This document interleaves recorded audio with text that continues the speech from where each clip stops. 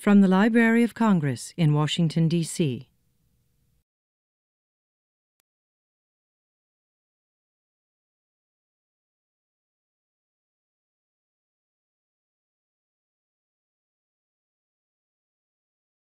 Well, good afternoon and welcome to the Library of Congress. I'm Robert Newlen from the Law Library. It is with great honor that we welcome former U.S. Representative Patricia Schroeder to join us today for an interview with the Deputy Librarian of Congress, Robert Dizard Jr. Before we uh, begin the program, I would like to thank uh, Bill Burton, founder of the Burton Foundation, for his generous support for making this uh, program possible today.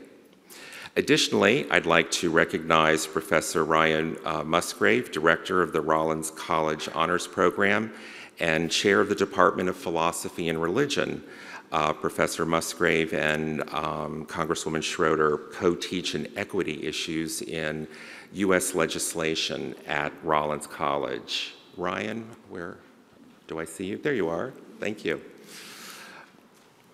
It's very fitting that um, Bob Dizard is here today to interview Congresswoman Schroeder about her many accomplishments, most especially her years on Capitol Hill. Prior to joining the library, Mr. Dizard served for eight years as Chief of Staff uh, to his hometown Congressman uh, Guy B. Molinari of New York. Uh, Mr. Dizard was appointed Deputy Librarian of Congress on June 17, 2012, coming up for an anniversary, uh, after serving in a number of leadership positions in the library, including Chief of Staff. Uh, Mr. Dizard will now introduce Congresswoman Schroeder.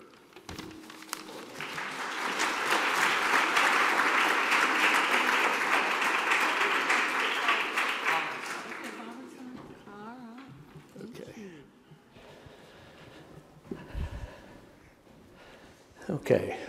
Good afternoon, everybody. And I uh, also want to welcome Ms. Schroeder back to the old neighborhood. Um, thank you, thank you. Where she, I, what I'm, I'm going to do is, uh, I, hopefully by the, um, in the course of our discussion, you'll know a lot more about uh, former Congresswoman Schroeder and her career here, particularly on the Hill. I, I think um, when I was talking to people about this event, I came across quite a few people of all ages who um, did not need an introduction to Pat Schroeder, so, uh, which is really great to hear. So I'm going to start off. We don't have a, um, nearly enough time to go through the whole career, but I, I, I told Pat I'd like to focus on her um, years in the House. When you were first elected in 1972 um, to the House, you, hadn't, you had not spent years, prior years, as a state legislator or a, a city legislator, city official, and at 32, you were the second youngest woman ever elected to the House of Representatives. Um, we're all shaped in some part by our childhood and early adult years, but when you entered the national legislative arena, uh, those early years were not that far behind you. Um, and, and so I, I, I'd like to start with a brief overview of the years before you started to study at the University of Minnesota. And uh, you said both your parents were, and I'll quote, full of spunk with a sense of adventure and a willingness to take risks. Um, what were your pre college years like, your growing up years? Well, I was born in Portland, Oregon, and I probably would have lived and died in Portland, Oregon, but for World War II. My father had an airport uh, a private airport on something called Swan Island. It's now an industrial park or something. But anyway, um, when, when uh, Pearl Harbor happened, uh, the government nationalized the airport and called him up to teach flying in the then Army Air Corps. So we were moved to Dallas, we were moved to um, all over. We were moved to Kansas City first and then Dallas. So when the war was over, we were in Dallas. And my dad decided to go into aviation insurance instead of running an airport because now they were going to be municipal from that. Mm-hmm. Anyway, so uh, first of all, uh, uh, there was never a federal form long enough to fill out all the places that I lived because yeah, of that. Yeah. so my dad went to work in Ohio. Uh, in an aviation insurance company, and then he decided to start his own in Iowa. So uh, I graduated from high school in Iowa. Uh, and I had gotten a, a pilot's license because the family always flew and he felt everybody should know how. And I ended up going to the University of Minnesota because my father felt the most important thing about my going to college was my paying my own tuition. I didn't quite agree with that, but he did. So I was busy trying to figure out how I could make enough money to get through Right, school. Right. Well, the University of Minnesota at that time, um, in the wonderful Nordic, Nordic fairness thing that they had, said, Well, we have these champion aircraft. They're for men only because of the ROTC, but the government doesn't say we can't rent them to you. So I got a job adjusting aviation losses for an insurance company in Minneapolis, and that's how I worked my way through Through college. And then I went on to uh, uh, Harvard Law School because I had no idea what I wanted to be. Okay, oh, I could, okay, I could, I'm gonna, I'm gonna just go back a little bit, a, a little bit more to your, um, your childhood. You mentioned that you were a pilot at a very young age, 15, 16? 15. Um, and could you uh, just describe, you had a, a bit of an adventure on your first solo landing. Oh, yeah. Yeah. Oh, yeah. oh, man. Sometimes I'm not as observant as I should be. I had a very large uh, instructor. So when it was time to solo and he got out, uh, I started coming around and I was always way above the airport when, it, when I, I suddenly realized, oh, I don't have as much weight. I got to bring this thing in lower. No, I, I learned a lot of things very fast. And, and you, one of your um, notable, I, don't want to say trademarks, but uh, it involves your signature, where you Right. put, maybe this was a precursor to emoticons, but you put a happy face in the P of Pat. right. That, that came from your early years. in Dallas, Texas. I started first grade, and there were five Patricias in my class. And so the teacher said, okay, line up. You're going to be Pat, you're going to be Patty, you're going to be uh, Patsy, you're going to be. And I ended up being the Patsy. And I said, somehow I don't feel like a Patsy. Could I put a face in the P and that would distinguish me? You know, I, I really feel that I want to be a Pat. And so luckily she said yes. Right. So it stayed with me. It drove people crazy when I was in Congress. When will she grow up? Right, right. Why does she do this? That's just terrible. So you you, you would put the two eyes and a, and a little smiling this face. file yeah, in the, yeah. in the P, yeah, yeah, okay. Blame my first grade teacher wherever she is. Okay. Then, and uh, also at, at Minnesota, you, you, was it at Minnesota where you learned, you studied Chinese? Yes, I And- did. And, Oh, but, but you credited that as a confidence builder, basically saying. It was. Yeah. And I, i i unfortunately, the class was usually early in the morning, and we even had to do the, the characters. Mm-hmm. And we had an egg in here with the brush to hold your hand properly. And I was always breaking my egg and running my sleeve Yeah. through it. So I, I think I went through college with dried egg. And now we get to Harvard Law School. You've said that I had an absolutely miserable time at Harvard. Um, why was that? Well, I had gone to Minnesota where I flew airplanes, and you know, Minnesota had this theory of, look, you're here, you're an adult, you either come or you don't, and if you don't, you fail, and that's it. So you know, yeah. and I showed up the first day at Harvard, and they said you have assigned seats, and I had young men on either side of me, and they said. We have never sat next to a girl in our entire education, and we're having our seats changed. And I thought, really? I mean, most of the young men in my class then had gone to sex segregated education mm, their mm. entire life. And, you know, being in this wonderful library reminds me, I remember going to the Harvard Law Library to do some work. And a couple of these guys came over and said, Do you realize you're sitting in the most important law library in America and you are taking a position from a man? And I'm like, Yeah, okay, so get over it. You know, I mean, what, what am I supposed to do about that? But there was this real, you know, we're here and we can't believe you're here messing it up. Uh, It was like the estrogen that I brought to the room was going to cause them Right. all to, I don't know what. N- And you met your husband Jim at Harvard. He was I at Harvard did. Law School too, and I should note in in a library. Absolutely. Now I know, I know, I spent a lot of time in the library, yeah. yeah, I know each of you has written uh, memoirs of your congressional years, and uh, looking at both of those, I just wanted to get a clarification on th- that particular experience, because Jim Schroeder described the meeting as this way. One Thursday evening in late October or early November, I was studying at Langdell Library when Pat walked in. She stopped by the table where I was working, apparently looking for a particular law volume that was in the stacks. He, she smiled, and I asked her if I could be of assistance. Yes, she said. Could you please get a volume down from the top shelf? I, of course, did. We chatted quietly for a few minutes, and then I suggested we go out for dinner Saturday. She said, Great. And we were set for our first date. In the Congresswoman's memoir, it was the only bright part of law school was Jim, who came up to me one day in the frigid library and introduced himself. So I wanted in, in the National Library here, I wanted to give I, get to I, wanted to give this the former Congresswoman a chance, as they say in the House, to revise and extend Yeah, yeah, yeah, yeah. remarks. It's the only kind of uh, dis- different outlook that I saw between the Yeah. two of you. Uh, see, I always said to him, he had been in the Navy for three years Mm-hmm. and he went to Princeton. Right. And so I think it's my way because I kept saying, you couldn't manage co ed Right. Harvard. Yeah, I mean, there were a whole 15 women Yeah, in yeah, the place. yeah. Imagine. Okay. And so I think he approached me. Okay, okay, Yeah. got it. Okay. the dispute continues. then. Yes, Yeah, yes. Okay.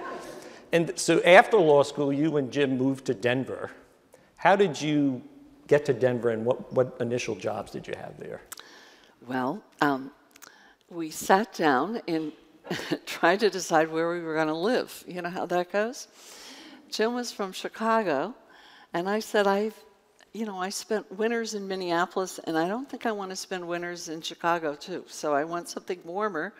Um, we looked at the East Coast, and we said, oh, that looked fairly stuffy, and we kept interviewing um, offices that said, well, we'd probably have to take both of you. And we thought, we really don't want to be the Bobbsey twins, you know, uh, uh, uh, working like that. So that became a problem. So finally we said, ah, Denver's a good compromise. You know, it's wonderful. It isn't quite as cold as some of the other places, and it's outdoor, and it's young people, and why not? So we did. Good, good. Okay. And so you uh, worked for the National Labor Relations Authority? I did. I worked yeah. for the NLRB, and he NLRB went to board, work yeah. in a law firm. In a law firm, right. again for the same reason that we you know the law firms all said either together or we you know we'll have conflicts Right. And so um, then i thought well i'll go to work for the irs because my specialty had been tax law and uh, they said well the closest you can live to your husband is albuquerque and i thought well that's Ooh. not going to work Oh, too well Okay. so i ended up at the national labor relations board Now, in, in 1970, your husband ran for a state legislative seat. Did. Lost by very narrowly 42 Sliver, votes. right. but you, you were not necessarily active politically, but in 1972, your husband was part of a group that was trying to get a candidate to um, run against uh, Republican Congressman Mike McKevitt, who uh, was a freshman and had unseated a longtime, maybe 20-year incumbent, um, Byron Rogers, in 1970. How did your name come up for that race? Oh my. Well, we had a two year old and a six year old. Um, and I had lovely part time jobs. That was wonderful. I was doing um, hearing, I was a hearing officer for the state of Colorado in labor cases, and also I was teaching part time at the university. So that was all fine, and I'm perfectly happy with my life. He's on this committee looking for someone to run. Now, the incumbent, they had just gone through reapportionment and redrawn the district so it'd be even safer for him. So everybody they got a hold of said, huh, I'm not into being a sacrificial lamb. Thank you very much, but no. Um, and they did have one person who was going to run. He was the state minority leader, and everybody kind of gotten behind him. And the idea was uh, he thought he could run even to the right of this guy, which was almost impossible because the guy had a zero liberal rating. So, you know, anyway, on and on it went. So he comes home one night from one of these meetings. Now, this is how desperate they were. And he says to me, Guess whose name came up? And I said, I don't know. He said, Yours. I said, Mine. I haven't run for a bus. Yeah. You know, I, I, I, what do you mean? And he said, No, no, no, you'll never win. Yeah. but it's so important. And he said, and You're always telling those young students they ought to get out there. You really ought to get out there. Well, it was amazing because it all happened really fast. My parents happened to be on one of those people to people tours to Thailand. And when my mother comes back to Denver, somebody says, Did you know your daughter announced for Congress? She literally dissolves on the floor. It's like, I can never leave town again. What has she lost her mind? But anyway, the rest is history. So you, and even you thought it would, this would, you wouldn't even win the primary. No, so this was no, something you'd be no. doing between May and oh, uh, September. I never gave up my jobs. Yeah. You know, yeah. I mean, still. So how, that, that first campaign, how, how did you camp? Was it door to door? Were you in shopping centers, mailings? How did, what, was the, what was the technique that you used in that first campaign? Well, think about this. My average campaign contribution was $7.50. Um, our, it was in the basement. Our campaign headquarters is in the basement. Um, we had a whole group of people that were friends that sat around the dining room table, and we called ourselves Kitchen Table Media. So when somebody said, you know, who's doing your media, I'd say Kitchen Table Media. And usually people would say, oh, I've heard of them. You know, I mean, so. but I remember PBS came out to film this thing because it was like the rag, and, and they couldn't believe it either. Um, but you know, we were just having a really good time. And we did really stark, radical posters. I brought them back here and showed them to the DCCC, hmm. and they said, Did these go out? And I said, Yeah. And they said, Well, forget about it. We have no money for you. This is crazy. We had, for example, it was the Vietnam War. So we took a picture of the military cemetery with a bird flying over it, and underneath it was a quote from the president saying, Yes, many of our troops have already been withdrawn. Yeah, hard hitting, right? Yeah. And again, they were like, Oh, you didn't do that. And I said, Yeah, we did. We had the Olympics on the ballot, and every single uh, politician said, Well, it's wonderful that people can express their opinion, yada, yada, yada. So we had a picture of an elderly woman walking down the streets in Denver with a cane, and under it it said, Cheer up, the Olympics are coming. Which lost me the Chamber of Commerce and some of the labor unions. Um, and, and our third poster, because I've always really cared a lot about children, is we took a picture of a migrant child sitting under a crucifix on a dirt floor at about a year old, and it said, This radical troublemaker is out to get something from you. Hope. Well, mm. People loved the posters. It cost us a penny a piece, and you know, they were all over town. I mean, yeah. we yeah. absolutely, uh, we had graffiti all over town, our yeah. posters, but and, and they went on to win a lot of awards. But that was not what anybody wanted. I mean, in Denver, all the politicians' stuff looked the same. You know, you have the picture of the family, and you have the picture of the uh, with a policeman to show you're for the law and order, and maybe one in the grocery store to show that you're a consumer. And then the only way you could tell if it was Republican or Democrat was the last one, where if it was a Republican, they were on a horse, and if it was a Democrat, they were on a bike. And other than that, you didn't know. I mean, that was it. You know, so this was all so radical. Right. Um, right. Nobody could believe it, and I just think I, I, don't have any idea. Well, first of all, I knew a lot of labor guys. Oh, okay. So my husband would talk about driving downtown, and some guy would lean out the window and he'd have a Nixon Schroeder button, uh, and he'd say, "Oh my God," or some of the construction trades had a thing saying hard hats for a soft broad, which was not, I said, no, those have to go. I mean, so I, I don't know. It was crazy. But, but you also have said your opponent ignored you. I guess. Oh, he did. He called me Little Patsy, and yeah, I was yeah. a head taller than he was. Yeah.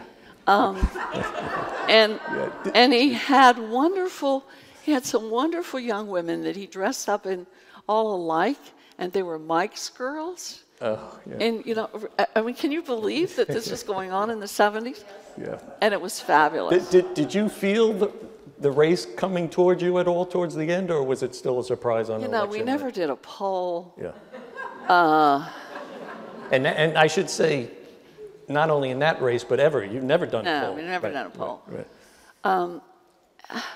Well, you know, people were really enthusiastic that were around me, but Oh, yeah. I, I, you know, I mean, he was an incumbent, and everybody who knew anything in Washington told me there's no just- way. Okay. And you know, I had uh, Gloria Steinem came out for me, but I didn't see any other members of Congress show up. Yeah, yeah, yeah, the. DCCC or anyone. So I just figured I was having a really good time saying what I wanted to say. Yeah. So, that, So I've been so- doing it ever since. Ever since. It was really nice. So uh, a few months after winning your arrive here in Washington, you obviously have to quickly get to work, including um, securing committee assignments, desired committee assignments. Can can you describe your first impressions here and when you came and talk about the getting getting on committees? Well, first of all, I came, you know, during the, the Vietnam War, so the whole place smelled like tear gas. There were huge demonstrations. It was the Nixon inaugural, and we would go through the tunnels, and they were full of uh, National Guardsmen uh, staying in there. Um, wow. So I was really like, what have I done to my life? And I remember walking into my office, and there were six bags of mail all on the bombings and what was going on. So people forget how that era was. Um, yeah, the whole thing, uh, members of Congress would say to me, Are you a fluke? And I- uh, they couldn't really quite believe that I had gotten elected. Yeah. And the speaker kept trying to swear in Jim, and he Right, kept saying, No, right. it's her. Right. It's her. And everywhere I would go and we would have to line up, they would always come and say to me, No, no, you don't understand. The member goes in front of you. And I would say, No, I, I'm the member. And they, and they said, No, no, no, I know you're a member of the human race, but you know, no, no, no. I mean, we're, yeah. yeah. And Yeah. So, it, but you, you did try to get on armed services, the armed did services try to get on committee. armed Was that services. related to the district or? Well, because I was a pilot, and I thought nobody uh, ever talked to women and children about being defended. I felt that everything that I wanted money for, they were going to say, we don't have money for it. Oh, because it's all going into defense. The immense expense is mainly in defense. I won't sing, but you know the deal. Um, so I should be there and I should look at it. And, and I also felt very strongly about military families. Nobody ever talked about them, they only talked about hardware. So I thought, well, this is a wonderful idea. It's time we have a woman. Uh, that was not exactly what the chairman thought. Right. The chairman was F. Eddie Hebert from Nolens, Louisiana, and what we called was a, a boll weevil back then. And there was also no African Americans on. And uh, uh, Ron Dellums also wanted to get on. So we were both vetoed by the chairman, uh, and they had never overridden a veto of a chairman before. And they overrode it and put the two of us on. So the two of us walk in the first day, and we're thinking we're pretty smart. You know, we're now on the Armed Services Committee.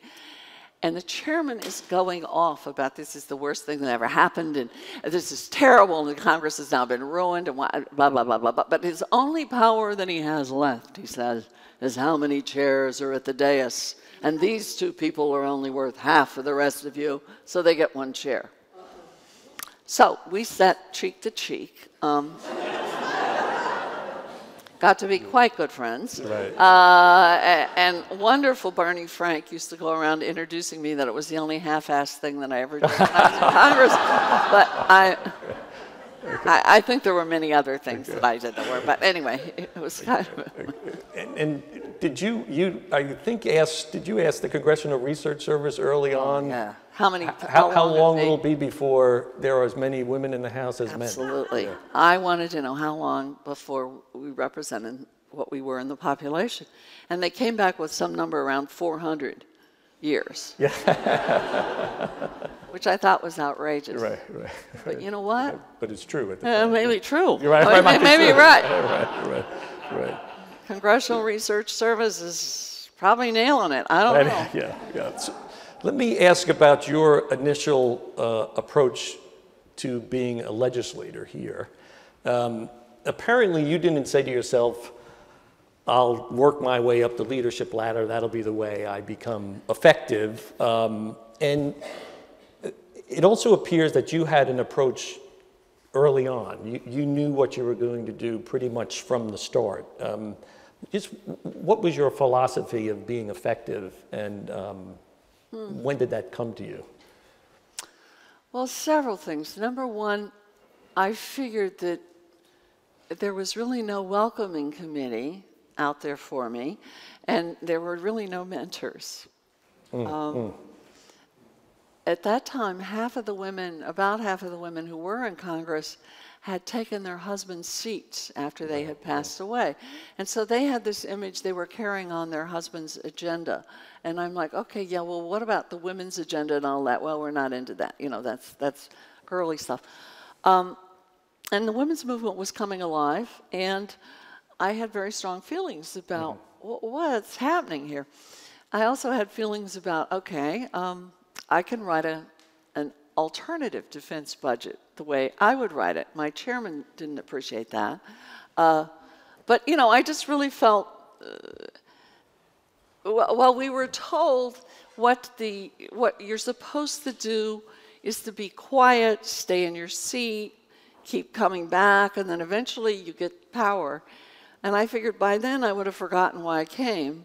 So you Right, know, and. I never knew how long I was going to be there anyway. So I may as well make noise while I'm here and have a good time. Right. In, in, in your uh, memoir, which has the title 20, 24 Years of Housework and the Place is Still a Mess, um, I, you, you said that I always felt that my job, as designed by the founding fathers, was to listen to people, uh, engage their minds, stir up controversy, and steer clear of sanctimony. Is that Absolutely. pretty much how you Absolutely. it? Right. And and you know, uh, uh, you know, there's two ways. I think when you're a politician, you so often know what the applause line is, right. and the temptation is so out there to just go and do the pl- applause lines. But for example, then let's say amnesty was a big issue. So people will come in, absolutely, those people that went to Canada, they ought to be shot, you know, whatever. And so then they'd come in and they'd say, you know, there's this really nice kid in our neighborhood, and he went to Canada. Could we get him back? And I'd say, you know, there isn't any way I can write a law hmm. that they're all going to be shot and yet bring him back. And it'll be the same with immigration. It'll be the same with anything. People had this really hard, you know, no, we don't want divorce for anyone, or no, we don't want amnesty for anyone, or no, we don't want immigration for anyone, except all these nice people that we know. And, and, you know, I always felt you ought to be educating people on mm. that mm. rather than standing up and going for the applause line. right. So it is the harder way, but I understand, you know, when you do a polling thing, where you're going to go. But if you bring people in, I always have that, I, I guess it's a faith, but I always have the idea that if you explain to them, well, now look, what we're going to do if we do this, if we take your path, uh, that, that they begin to understand and they say, yeah, well, maybe we need a little leeway, or maybe we need to figure out a way they can work their way back, or, you know, whatever. Right. One, you, you've had many legislative accomplishments. I thought maybe we could take one of them, one which we're familiar here with in the library, the Family uh, Medical Leave Act. Can you just take us through uh, and describe your strategy for that and how you got it through, even with two uh, presidential vetoes? What was the mechanics of doing that? Well, I looked at running for president in 1987. Uh, I decided not to. And then I did a Great American Family Tour because I was trying to get family medical leave going with a wonderful pediatrician from Harvard, uh, Dr. Brazelton. Maybe many of you know him, and T. Gary Goldberg, who was uh, the producer of Family Ties, the writer, and his wife, uh, Diana Meehan. And the four of us went off and we went to these primary states and we said to people, please write your check saying, do not cash this unless you're for family leave or something. Well, we had all the candidates saying they're for family leave, including George H.W. Bush, who I really liked, but I don't think he really got what family leave was about because then we got back and we passed it and he vetoed it, you know, mm, and then he mm. did it again. Right, right. And luckily, one of the states we had gone to was Arkansas when Clinton was governor. Mm-hmm. And so when Clinton came in, we finally got it passed. But, you know, it's still so watered down and everything else. I thought, well, think of Americans who, when they saw Prince George born in England, and, you know, there were all those articles about how England is a little backward compared to the rest of the uh, European Union. In England, if you have a baby, you only get 52 weeks of job protected leave, 39 of which are paid. Now, the other countries have a much better one. You know what we've got? I mean, I, I, and I'm almost embarrassed to say that's my bill. Everybody went around saying, Isn't this wonderful? We passed this bill. And I'm like, That was 20 some odd years ago. What have you done since? Could you Right, right, please beef right. it up? So- So, it's the frustration of seeing how we, I don't think there's a capital in, a, in the world that talks more about family values and does less. Right, And it really, it really bothers me. So, with, with that legislation, there was some need on your part to compromise. Oh, yeah. And in your experience in the House, um, was, is it more often go for common ground or is it more often compromise? No, thank goodness I compromised and we wouldn't have any family leave at all. I mean, 20 years later, my dream was we compromise and that they start trying to increase it, Right. but at least we have it. Yeah. Which I think is, is why you want some compromise. At least you get a start and you find out the world didn't stop. I'll never forget the Chamber of Commerce somewhere down in the South when we were trying to get it said, Lady, if you pass this, the entire South's going to shut down during deer hunting season. Everybody's going to have their babies so they can get six weeks off to go deer hunting. And I was like, Really? Well, Southern women are a lot different than Western women because I don't know anybody who planned their pregnancy around deer hunting season Right. so they could get off. I mean, really? So, you know. Another thing, just on the legislative process, um, in a uh, 1989 art, Newsweek article um, on, the, on the world of Congress, you were quoted as saying, the name of the game here is if you have to explain a vote to a significant group of people, you better not make it. That's exactly the Right. applause line thing. Is that right? Okay. You have to Yeah, explain yeah, it. You know, it takes too much time. Uh, Yeah, yeah. and, and to me, that's really what we're supposed to be. Uh, yes, legislators, but also educators. Right, right. Educators as to why legislation isn't so easy. Otherwise, we ought to just legislate by poll. You know, we can Right, poll right, everyone in. America and say, what do you want? Uh, yes, no. Yeah, yes, Mm-hmm, no.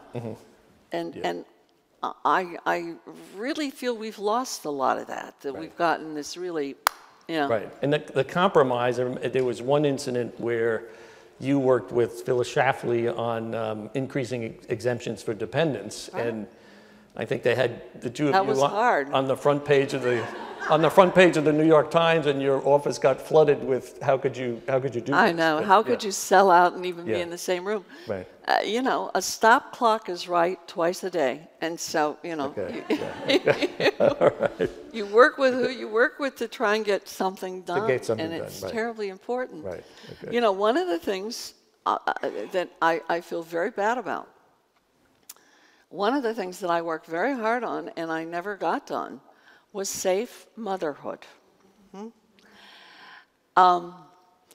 it's this is the 100th anniversary of Margaret Sanger having started uh, contraceptive clinics on the basis that that was for preventive health for women. And here we are 100 years later, and the, con- and the, uh, led, uh, the Supreme Court's still deciding, hmm, is contraception really preventive health? Yeah. Meanwhile, in the last 25 years, according to UNICEF, uh, maternal deaths have doubled in America, and we are 50th universally, right below Ser- Serbia. You know, and we don't talk about the maternal health issues. I mean, Right, right. people in America watched Downton Abbey and watched one of the characters die of preeclampsia, and people would say to me, "Well, what's that? Do we have that in America?" I said, "Yeah, we got that in America. I know three people who had it." Um, and it's, oh, really? Do we do any research? No, because our image is everybody's a safe motherhood here. And, and, you know, th- so those kind of issues, women's issues, I found particularly difficult. Family issues, very difficult. And I think it's still that way because I think Congress thinks of itself as the most important and powerful Right. uh, legislature and the most important capital, which is true. And so we only deal with important issues, and that's not family and that's not female. Right, right. Um, Let me ask you, and you've, you've exhibited this just in this brief discussion too. You, you had a, um, a reputation for an imaginative and um, sometimes biting whip, uh, wit. Um, Oh, Some, uh, referring to President Reagan, I, I think it was on the House floor, you said, I was cooking breakfast this morning for my kids, and I thought, he's just like a Teflon frying pan. Nothing sticks to him. that's right. Um, I, you, I, you've probably have repeated many times to uh, questions we could guess. I have a brain and a uterus, and I use both. Yeah. Yeah. Um, President, President George H.W. Bush had the coattails of a bikini, I think you mentioned in the, after the 88 election. Actually, it was McGovern. That was McGovern, okay. Yeah, And then- and was then- wearing a bikini. to, um, to, to uh, some of your Pentagon, uh, member Pentagon allies on the House Armed Services Committee, if you guys were women, you'd always be pregnant. You just can't say no. Um, now, I, I think um, you, you, you obviously use these to uh, to great to effect. What was your what what was the strategy behind these one or two liners? I mean, you, you weren't Yeah. um, just standing up to get laughs. Um, they were Well, effective in a lot of ways. I, you know, I always figured my words should be tender and juicy because I often had to eat them. But okay. basically, one of the real problems I always had in Congress was I felt that we became so wonkish. We wanted to throw 50 pages at everything in, in a society that's it's America, and if you weren't born with attention deficit disorder, we mm-hmm. teach it to you within the first year of your life. Mm-hmm. And so you've got to have a word picture that kind of captures where, you know, Right, right. what, what you're saying. The other part is, I must say, part of it was I really suffer fools lightly, uh, or, or not very well. And so, you know, when the 85th person says to me, How can you be a congresswoman and a mother? You kind of say, a a- brain, a you uterus, they both work. What else do you want to know? I mean, you know, Yeah. you just get very impatient with that kind of, of craziness Right, that, right. that women tend to get asked. And I doubt that there's ever been a male asked, How can you be a father and a member of Congress? Right, You know, Right, okay. Um, But just, you- your, dis- can you just briefly describe what your district was like? And how much time were you devoting to the national issues versus the district? What did people in the district um, expect of you and ask of you uh, most? I had a wonderful district. Denver is one of the most uh, educated cities, young. Um, and the wonderful thing about Colorado is so many people moved in, like myself. Mm, mm, anywhere else, I would have mm. been a carpetbagger. Right, right, right. uh, because they wanted to live a better life or they wanted to make things better. And so uh, when we, for example, had tremendous pollution, people were like, fix it, fix it. Okay, well, we're going to have to do this. We're not going to have fireplaces, you know, a burned, you're not going to do this. Fine, terrific. Is there anything else we can do? you know, they, they didn't it. We had an awful lot of oil and gas people. We had a lot of uh, environmental people. My hardest part was I've never been a sports addict. You know, I grew up when girls' basketball was you could dribble twice and not cross the center line. It didn't look like a sport to me. Um, and so I had the unique thing of having one district that had four National League teams. Mm, mm. So that was my Yeah, hardest yeah, job yeah. was keeping, up, with, the, s- sports with the part. sports, yeah. But the rest of it was I, I really found most people were very fair. Now there were others who you know I absolutely drove nuts, but we say out west, you know a person by their enemies. And I had a good okay, list. okay. Yeah. And, and as you became a national figure, did that help you with your constituents, or did they say, stop paying attention to that stuff and pay attention to No, Denver? because I, you know, I still went back there all the time. Yeah. I think they often wished I'd go somewhere else for a while. You know, it's like, oh okay. my God, there she is talking again. Now, And, and you mentioned before that in 1987, um, you were a candidate for president. In fact, Time Magazine had you um, in a poll uh, third uh, among the candidates. If I can ask you to be a bit immodest here, wh- why were people pushing you to run in that race? What, what, what were they telling you? You have to do this, Pat, because you're blank. Well, they weren't pushing me to run. I started out as Gary Hart's co-chair, our chairman, you know, for the presidency. And uh, when all of a sudden monkey business happened, right. uh, I was like, I was furious. I was so furious. And I thought, okay, I've been clearing my calendar and, and going around and representing him and all these things. I'll just do it myself. You know, it's kind of one of Right, those right. impassioned moments. But there was a run, Pat, run. There movement. was. I mean, there were an awful lot of people who said, yes, that's terrific. Remember, this is like four years after Ferraro had run. And a lot of us thought, okay, this is great. When Ferraro ran, I was one of them, saying the ticket will never be all male again. We're always going to have diversity. Yeah, know, he's wrong. Uh, but a lot of us thought that was really going to happen. And so, you know, I looked at it and then I realized, well, I'd gotten in a little late. Too late. Because you needed to raise a lot of money. for- You need to raise a lot of money, and I had gotten in really too late. I mean, people were all. And secondly, there was still such an attitude. Um, I'll never forget in the South being introduced by uh, a chairman of the Democratic Party saying, I like this woman, is a fine woman. This woman knows more about the military than all those other candidates together, and I don't have any trouble uh, with a woman being president. And I'm thinking, well, you know, maybe I should rethink this. This is the South. And then he said, however, I just can't imagine having a man for first lady. And I'm like, I think I'm going to go shoot myself. And then you've got to get up and give a speech. And, and the, the crazy question I kept getting all the time then is, why was I running as a woman? Right, right, And right.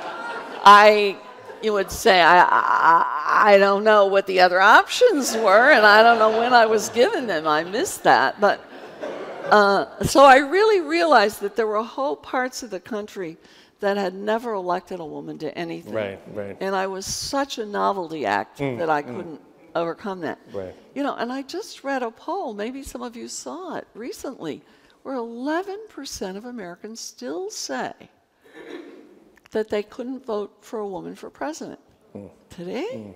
Mm. And that 23% say they think men are better p- suited to politics. Right. So, Right. you know, we've still got those attitudes out there. Um, it's always hard because most of us don't know those people. I don't know where they're living, but they're answering there's- polls. So, you know, In, in the 94 election, the House turned, the majority switched to the Republicans. You did not run in 96. Um, what was the difference in 20, you know, being in the majority for 22 years and then boom, uh, literally overnight, you're in the minority? It was awful. Um, you know, it is a hard job if you do it right. You know, Right, right. At least you know you're commuting 2,000 miles every weekend, and and you're traveling around and doing all sorts of things. And the thing that that makes it worthwhile doing is that you get something to the outbox. It may take Right, a long right, time, right. but something finally gets to the outbox, and you say, okay, we got family leave, or okay, we got the Women's Health Initiative, or okay, we got, you know, whatever. Um, it became very clear to me that what I felt like all of a sudden was I got up every morning, I got dressed, I came down here, and it was like being in a junior high lunchroom. All I did was be in a food fight all day, you know, with everybody, rah, rah, rah. and then you go home and you think, nothing is going into the outbox. And, and it really wasn't. And I was also the co chair of the Women's Caucus. The Women's Caucus had been the largest bipartisan caucus on the Hill. We had both men and women, both parties. Um, and it kind of got totally uprooted. They said, no, it's got to move off the hill. You got to have outside sponsors. You can't do it. So it really gutted it. And I thought, uh, well, I don't know how we're going to get any of this stuff done. And do I really, you know, I was then 55. There's a lot of ageism in this society, especially against women.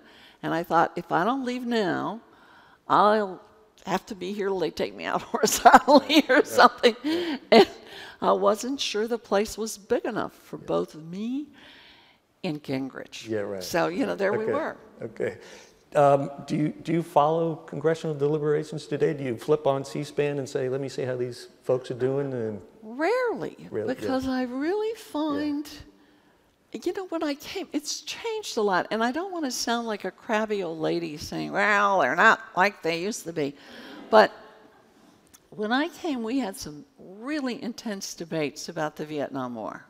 I mean, there were people who were for it and people who were against it. And we would argue about why we thought it was a bad idea or why we thought it was a good idea, whatever. And then we'd go to coffee. That doesn't happen. You know, Right, now right, it's no, more right, name calling and you right. Mm-hmm. wouldn't be near them because it's like uh, some of their terribleness might wipe off on you. Or we, we were having very strong, I mean, we had impeachment coming on, for heaven's Right, sakes. right. Impeachment of a president. So you can imagine how tense that was. But again, you could have those things and then you would go see them or you would walk out and you'd still be friends. It would be more like a courtroom thing that I was used to. Right. And all of a sudden it became this incredible polarized. And so I don't really find the debates that informant right, anymore. I right. find them much more accusing people of being either Neanderthals or socialists or this or that, you know. it- and it, so uh, the one thing I know is that when you're flinging labels around, you're not arguing, you're not debating, you're just flinging labels around and hoping they stick. Do you, could a, could a Pat Schroeder come along today and effectively use the same approach that you did when you came in? You know, I, I used to think it couldn't happen, and I must say how pleased I was to see, uh, and I'm sure there are many others too, but let's just take Elizabeth Warren, who ran for the Senate. 80% of her money was $50 or less.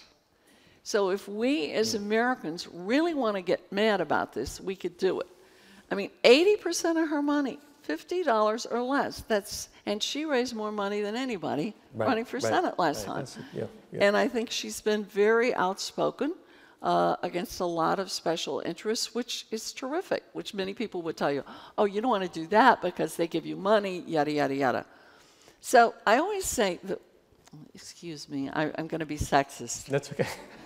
Women are really a, a, a hidden potential.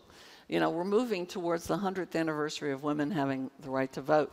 If every woman in this country wrote a check for what they spent for their last outfit to a candidate that they thought was really good, we could really make some noise and change Right, things. right. Okay. But uh, my, my feeling was always there's two kinds of people. There's the kind of people who wring their hands and moan about how bad there it is, and the kind of people who roll up their shirt sleeves and say, "Damn it, I'm going to fix this," you know. And we Yeah. got to change our attitude Right. because I think we're getting much too imbued in the cynicism, Mm-hmm, and it will never work. And oh, I can't put out that kind of money, so why should I write a check to anybody? And oh, they're all rotten. And that's very dangerous if that keeps spreading, and it's spreading very fast. Um, After the, the House, you became the president and CEO of the Association of American Publishers. I mentioned to you when, before we started here, that we could have three days of talks on, on that. Um, You're now living in Florida, um, and. I- Happiest place on earth. Right, okay, good. And you're on the board of directors of the League of Women Voters of Florida, so you, you're still dabbling selectively in, in the um, Right. political arena. You're also teaching at, at uh, Rollins College in uh, Winter Park. And I'm also on the Common Cause National Board. Poor old John Gardner, you know, he's such a wonderful man. And I'm sure he looks up, uh, down, I'm sorry, from heaven and says, oh my gosh, you know, the issues are still there. Right, right, right. D- Would you mind if we had a few questions from the audience? No, I love it. Okay. If somebody, are you raising your hand? Okay, good. We have mics that we'll hand out to folks. Is One of the pieces of legislation that I think is, is one of the most amazing constructions I saw, and, and a problem solving kind of thing that was interesting because it involved such a broad span politically of people, was the, the uh, DoD child care thing that came out of House Armed Services in 87 or 88. And my impression was it was the work of the five women who were then on the committee, and they ran the political gamut from you well to the, to the right, two Republicans. Uh, if it was just a thousand eaches and there's no way to simplify, it just waved me off. But was, is there a short way to tell the story of just mechanically? How did you do that? Oh, well, it's very easy, and you'll understand it in today's parlance. First of all, most of the members only cared about the hardware. And, eh, you know, I used to go to meetings and they'd say, well, are we going to vote for F 15s or not? Well, how many tickets did they buy to your fundraiser? You know, I mean, really, that type of stuff.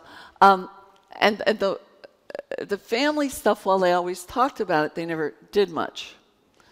And so we just kind of did it. They really didn't pay much attention to it. It was like, oh, you really think this is needed?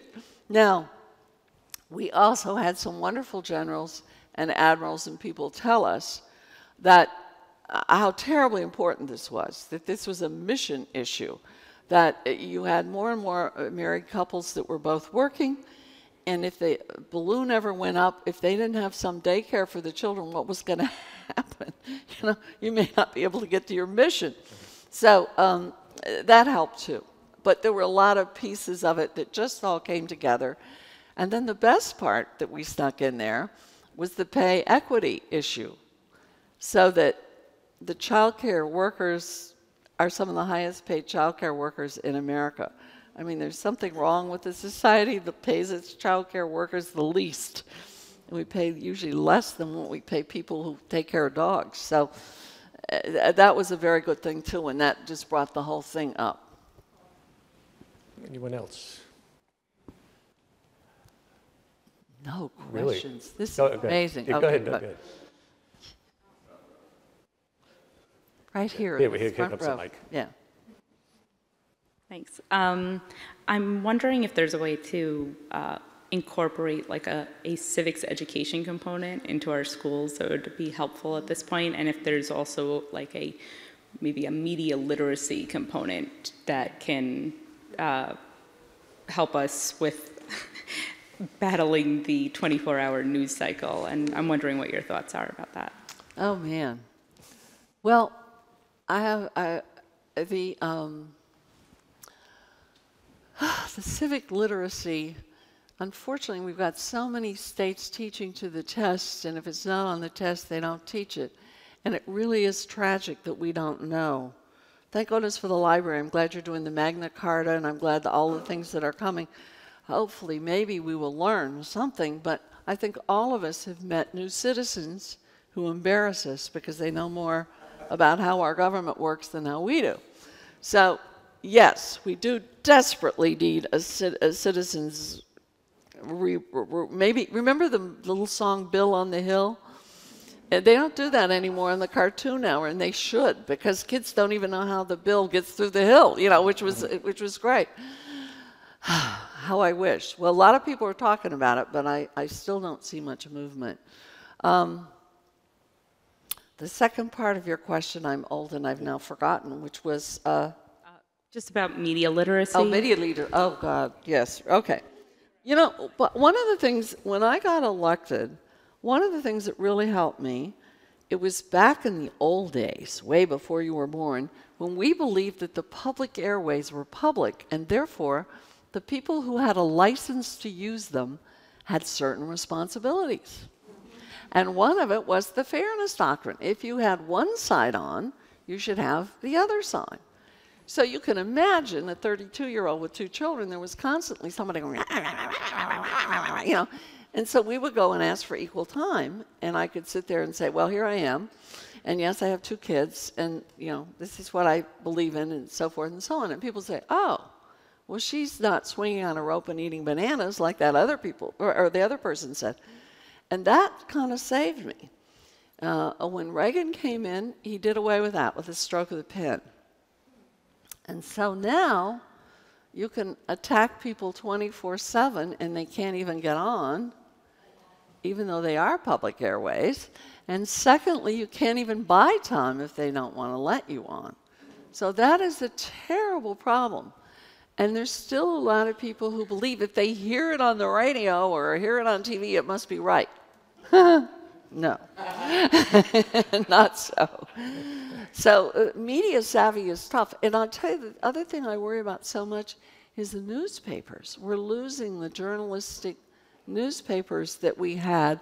And if you go back and look at Jefferson, he always said that a, a strong independent press was very critical for a democracy. So Maybe young people like you can figure out what's going to replace that or what's going to come up because we desperately need it at the moment. We either get stuff fed to us directly by the candidate, and every candidate is for godmotherhood, sunshine, you know, little puppies, whatever. Uh, so, you know, you read it all and you have no idea. I mean, what's the difference between candidate A and candidate B? They're all for godmotherhood uh, little puppies and kids or whatever. Um, the media is either all on one side or all on the other, and such a, so often, and and the newspapers have just kind of disintegrated in many places, so you don't have any independent investigation, um, and that's that's pretty frightening. If I can define myself, and nobody ever looks into what I'm doing, oh my goodness, I'm going to be the best person you ever heard of. Mm and that shouldn't be. Anyone else? One more question? Right here, right in the middle. Maybe we can get you a mic. Yeah. Hypothet- hypothetical. You're elected president tomorrow. What are your five priorities? five priorities. Okay. I'm terribly, terribly concerned about the incredible pay disruption or uh, pay inequity. Um, hallelujah for Seattle and $15 an hour. Two thirds of the uh, of the minimum wage workers are women. The lowest paid workers in America are single women with children. Do you think that child poverty might be derivative of that? So those things all, I think, are terribly important. I think it's terribly important to get education back on keel. Um, we're, we're so uh, missing, uh, uh, missing out. When I was with the publishers, I really learned that. I mean, you go to India, we may have MIT. You want to know how many MIT equivalents they've got? And China, and you know, they're out there. And a generation from now, we're gonna we're gonna really start seeing tremendous problems with this if we don't get focused on it. And if you look at most of our universities, if you want math and science, guess what? It's going to be a foreign student teaching it. I mean, really? Don't we have anybody left in America that can teach math and science as American? We, it's, it's tr tremendous neglect there. Those, those would be two very key things. Three, I am obsessed about burden sharing totally obsessed about burden sharing. When Eisenhower created NATO, he said, if we've still got troops in Europe 10 years from now, we have failed. Hello? You want that? We got 120 countries we got troops in. What are we thinking? And, and you know, there was a wonderful cartoon in the UK paper where these people are coming out of their house, the next door house is on fire, and they said, when are the Americans going to come and fix this? You know, I mean, look, I am more than willing to do our part, but our part's not 99.9%. And I, uh, you know, I, I, used to rant and rave about this all the time. And, and, if you put the European countries together, they have more people than we do, and they have a higher GDP if you put them all together in the European Union. And what do they do when we have I mean, the Belgians sends chocolates, and someone else sends bikes and someone else sends some films. It's like, come on, people. And now we have a united front. Baloney. I mean, they, somebody has really got to say it is grow up time. Uh, these things are in your backyard. I mean, I, I look at the Ukraine. It's like it's pretty close to you. Serbia and all of that was kind of close to them, and yet we keep coming in. So I would be Madam Burden sharing, and they would hate it. They used to, I used to get thrown out of a lot of NATO meetings because it was like the skunk at the garden party. It's like, no, no, no. And our guys are like, no, no, no, this is what we do. We're America. You know, we're here. We're here to save you, you know, the cavalry. Um, the environment. I realize most human beings can't think beyond two generations. But now we're getting to the point where we're pushing it so hard, we may even be able to impact both those generations. We really need to be more thoughtful about that. Um, and I, I, I, salute the president for trying to take it on. And of course, the coal states will scream bloody murder, and everybody else will scream bloody murder, and you may have to pay another penny if you have to use natural gas versus coal. And, but isn't it nice? An overfishing of the, the seas and everything else. We've really got to think about that. I mean, uh, the Native Americans had it right. We don't own this. We, we're, we're kind of borrowing it for a while and turning it over. So that would be one. And finally, of course, I, uh, diversity and all of that I think is terribly important in our background. But I am so depressed about the fact that women have still not come up to the level that they should. And, and, and we have not dealt with families very equally. And I think what's going to happen is more and more people are going to decide not to have a family. So I, I, think women and uh, women's and family issues, and they shouldn't be women's issues. They in every other country, they're considered both men and women's issues. In this country, they're on the women's pages. You know, it's, it's what do the women want now? Daycare. Well, you know, men want daycare too. And, and men want, and, and we've got to bring that whole family thing together. We got to redefine family is wherever you go at night and they let you in. And then we got to figure out, you know, how we, how we, because those are the basic building blocks of this society and you put those building blocks together and then you put the society on it. Well, if they're crumbling, we're crumbling. So, I mean, those would be my five. Okay. And I don't think I'll get elected on that platform. okay. Um, I'll just wrap up. Yeah. Um, I want to. I want to thank you again for coming to the Library of Congress today. Uh, we appreciate you talk, talking to us about your life and your career. I think we can learn uh, something from your own experiences. Um, and I just want to close, uh, again, I'm going to um, cite your husband. With, I just want to close with a, um, this one will be a little different tone. Um, his, his memoir was called Confessions of a Political Spouse, which was published in 2009. And in there, he, he told this one story about his wife. Um, he said, I can't remember why now, but at some point many years ago, I needed to get something out of my wife's purse. V very dangerous. Snug down at the bottom among the hairpins, pens, and Kleenex tissues were several business cards held together with a paperclip. The one on top was for Joe the Balloon Man. One of, one of Pat's favorite things was to order up balloons for our children's birthdays, especially embarrassing them when they got older and the deliveries took place at college or at work. on, the, on the back of the card was Shimon Peres's private direct line phone number written in his own hand. A small thing, a calling card with two important phone numbers said a great deal about Pat Schroeder. a sense of humor, fun, and the importance of family keep Joe's card handy. a desire to work for peace and justice in the Middle East, keep Shimon's number available. Tender and tough, Pat Schroeder. Thank you again, Congressman. Thank you. Thank you. Yeah, okay. Thank you. Thank you.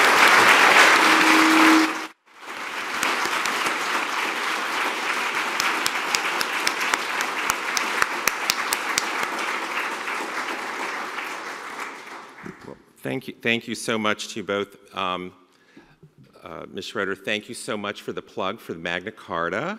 That's a great segue into uh, uh, just reminding everyone on November 6th, we'll be opening a major exhibit, 800 Years uh, 800th anniversary of Magna Carta.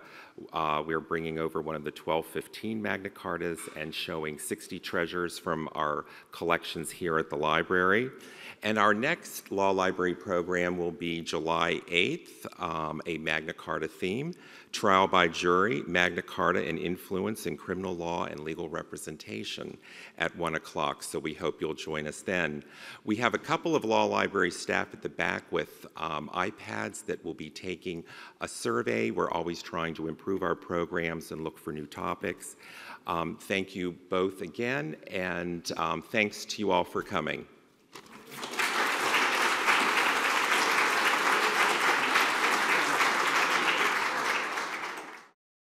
This has been a presentation of the Library of Congress. Visit us at loc.gov